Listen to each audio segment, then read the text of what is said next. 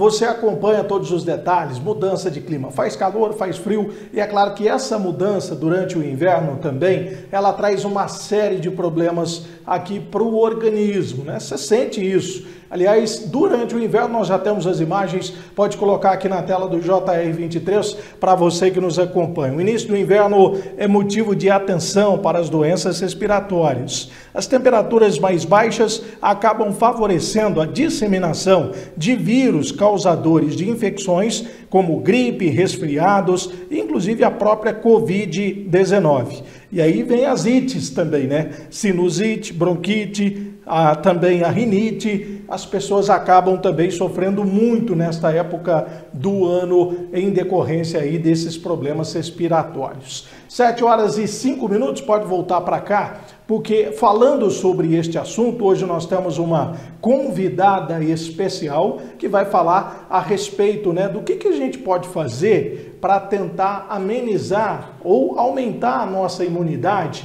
com relação a, a, essas doenças nessa época do ano. Eu sei que eu tenho em casa, uso muito né, aquele própolis é, tranquilo, e isso ajuda e ajuda muito. Mas a doutora Andressa Beretta, que é farmacêutica da Apis Flora, está aqui junto com a gente no JR23 e vai trazer detalhes. Primeiro do que provoca essas doenças também, ela comenta, e da importância de se usar produtos naturais que ajudam a aumentar a imunidade. Pois não, doutora, bem-vinda.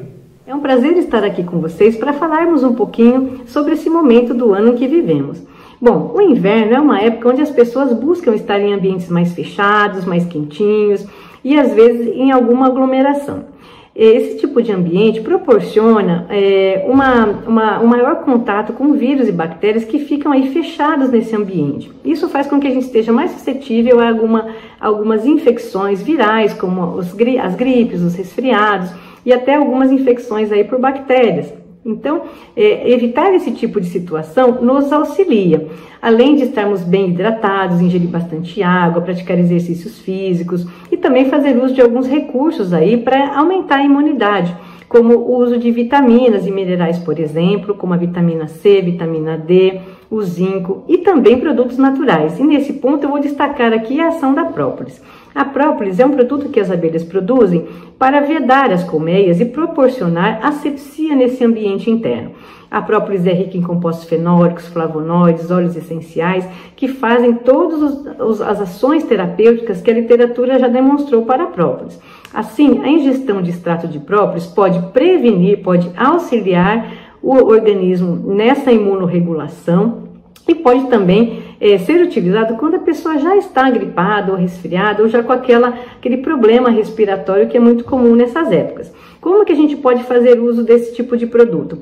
A ingestão de 30 gotinhas e um pouco de água, uma vez ao dia por um, dois meses para preparar o organismo, ou o equivalente a isso, que é uma cápsula de própolis por dia, ou quando a pessoa já está com o processo instalado, essa gripe ou resfriado, tomar algumas vezes a mais, como três ou quatro vezes ao dia, para essa recuperação ser mais rápida. Isso falando na dosagem para adulto. Com isso, você vai estar preparando, se ajudando de forma natural. Obrigado, doutora, pelas orientações, pelas dicas aqui no JR23. Nós que trabalhamos com a voz, né, não ficamos sem aquele própolis com mel e, é claro, muita água, né, hidratação. Então é sempre muito importante, ainda mais nessa época do ano.